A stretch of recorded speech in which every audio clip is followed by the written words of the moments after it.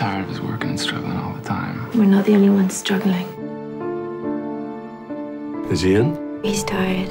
Combat fatigue. Is this for real?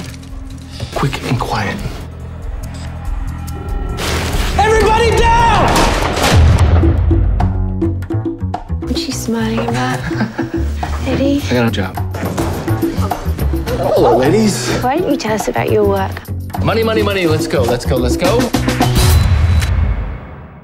Mr. Boyd, one for the Daily Star. You're a decent family man. You're a decorated soldier. What went wrong? Life's way too short. It was time to start living.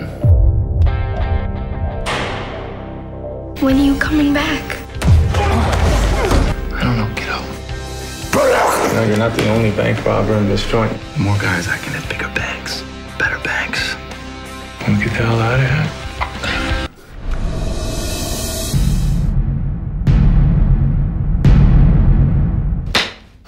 Tomorrow.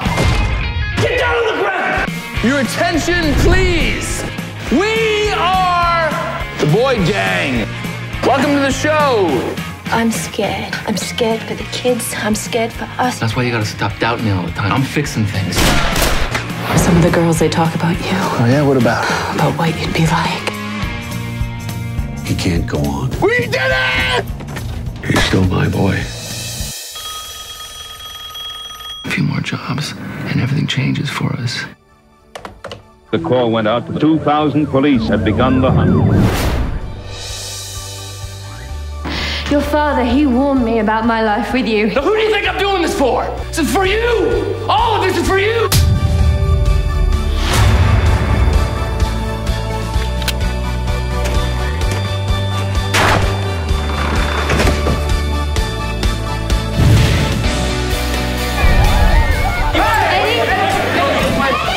Now that you're famous, look quite like you expected, I bet, eh?